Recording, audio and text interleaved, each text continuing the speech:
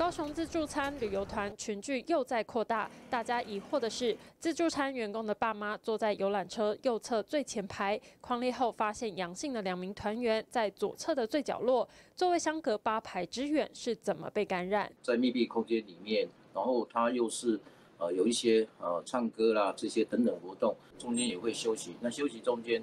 也有可能跟呃乘客之间的接触，所以它的传播管道事实上是蛮多元的。我们车上有换气开关，这个开关基本上我们车子是密闭的状况，我们这样一风一打开，然后它的风就快速往后面吸了，所以我们车上的空气是对流的。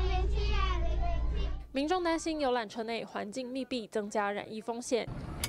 业者强调，自疫情以来，车上都已经加装内外空调循环以及空气杀菌设备。出车前后，甚至出团期间，一定落实清消。因为我们带的都是团体旅游的客人，所以他们都是几乎都有照册。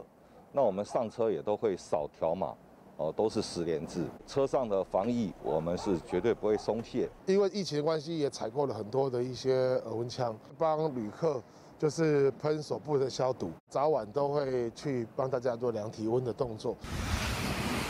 迈向微解封，又即将进入三月封妈祖的绕境和进香旺季。除了旅行业尽力提升防疫规格，民众也要更有自我保护意识。大家新闻线上邓英中台北报道。